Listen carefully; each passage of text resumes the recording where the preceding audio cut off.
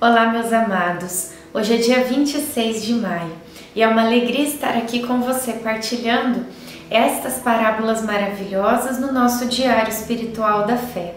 Nós estamos agora iniciando a partilha da parábola da ovelha perdida. Acompanhemos a narrativa.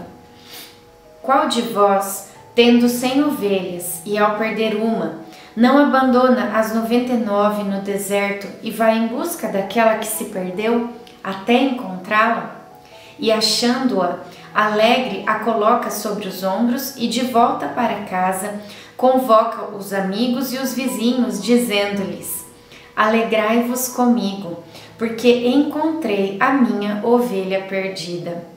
Eu vos digo que, do mesmo modo, haverá mais alegria no céu por um só pecador que se arrependa do que por 99 justos que não precisam de arrependimento. Lucas 15, 4 ao 7. Esta parábola apresentada por Lucas faz parte de uma tríade: a ovelha perdida, a dracma perdida e o filho pródigo. E há um motivo para tal combinação.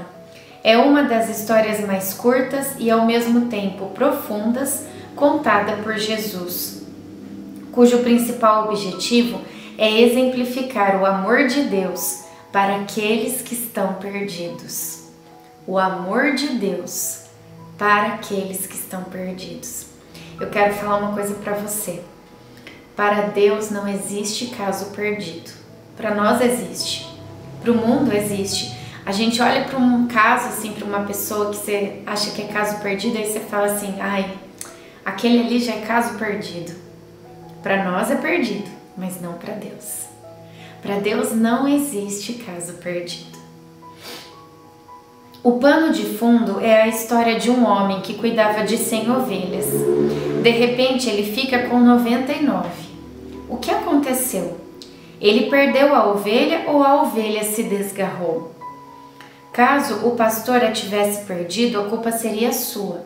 Contudo, foi a ovelha que se desgarrou. Isso é muito importante para entendermos a pedagogia redentora. Deus Pai nunca rompeu com a humanidade, porque nos ama. Sua aliança permanece fiel. Nós é que nos afastamos dele. Se seguisse uma visão pragmática e utilitarista, o pastor poderia ter se conformado em ficar com 99 ovelhas, sem se importar com apenas uma delas perdida pois o seu rendimento continuava garantido. Não obstante, ele reage de forma diferente. Faz questão de reconduzir a ovelha perdida e até corre riscos para encontrá-la, porque para ele não se tratava da centésima, mas de uma importante ovelha do seu rebanho. Veja, Deus não nos trata como um número. Eu não sou um número, eu sou uma ovelha amada, querida, importante do rebanho. E ele é capaz de deixar o rebanho todo para ir me buscar. Quando eu me desgarro, quando eu me afasto, quando eu me perco de Deus. Na parábola, Jesus representa o bom pastor, capaz de dar sua própria vida pelo resgate de uma ovelha do seu rebanho. Mas é só isso? Não. Mesmo sendo uma ovelha desobediente, ele não desiste dela e enfrenta todos os riscos para resgatá-la.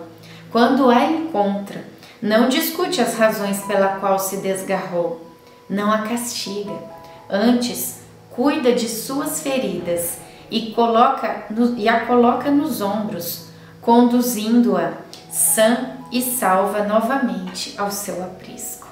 É assim que Deus faz conosco. Nós encerramos com o Pai Nosso, Ave Maria e o Glória. Pai nosso que estais no céu, santificado seja o vosso nome. Venha a nós o vosso reino. Seja feita a vossa vontade, assim na terra como no céu. O pão nosso de cada dia nos dai hoje. Perdoai as nossas ofensas, assim como nós perdoamos a quem nos tem ofendido. E não nos deixeis cair em tentação mas livrai-nos do mal. Amém. Ave Maria, cheia de graça, o Senhor é convosco. Bendita sois vós entre as mulheres, bendito é o fruto do vosso ventre, Jesus. Santa Maria, Mãe de Deus, rogai por nós, pecadores, agora e na hora de nossa morte. Amém.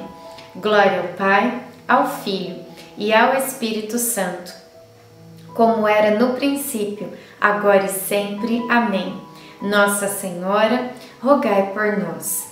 Em nome do Pai, do Filho do Espírito Santo. Amém.